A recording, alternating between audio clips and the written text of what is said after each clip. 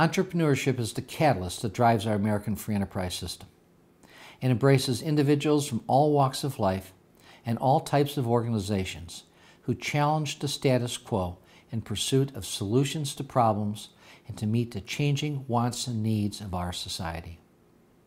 Entrepreneurship involves vision and imagination that leads to innovation. It requires initiative and persistence that leads to investment, and thoughtful and responsible risk taking in anticipation of reward. I like and use this definition because it recognizes that entrepreneurship is not just narrowly construed to be about small startup businesses. Instead, entrepreneurship embraces the full spectrum of marketplace activities to meet the changing wants and needs of our society by people of all backgrounds who are challenged to bring their visions to life. From the very beginning of our country, Americans have been risk takers. From the colonists who uprooted their lives in the Old World and crossed the ocean in creaky boats, to the pioneers who pushed the boundaries of our nation ever westward, to the astronauts who journeyed into space and beyond to the moon. Americans have taken risks in pursuit of opportunities for a better life and to expand our horizons. Indeed, risk taking is rooted in the full range of the American experience. Risk taking within the economic arena is also rooted in the American experience.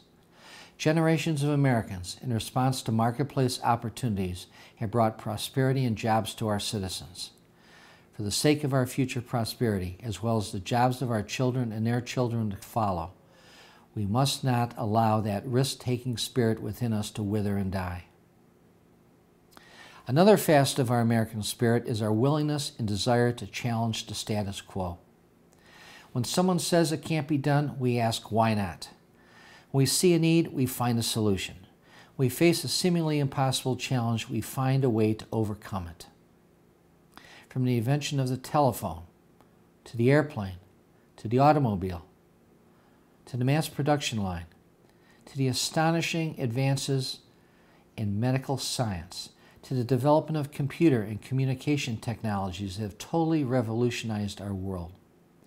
The American can do spirit and aversion to accepting the way it is has made our country the world leader that it is. While famous inventors and big names may get the headlines or rate prominent reference in history books, the entrepreneurial spirit is not limited to them. Nor is it limited to business people or people with advanced university degrees in business. Rather, it embraces people from all walks of life. It could even include you.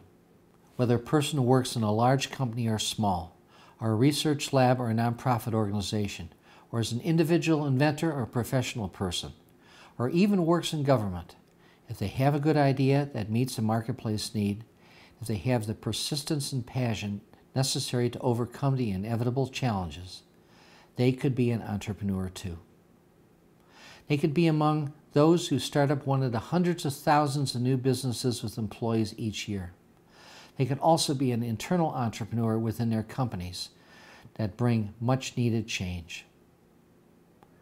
While not everyone succeeds, that hasn't stopped generations of Americans from trying. Those who have succeeded are responsible for the prosperity that our country has been blessed with over the many years. Risk taking and challenging the status quo are two of the qualities that have defined the American spirit over the generations. These qualities are at the heart of the entrepreneurial spirit that is of critical importance to our country if we are to create the new jobs necessary to ensure our continuing prosperity. Fostering these qualities, not inhibiting them, should be among our national priorities.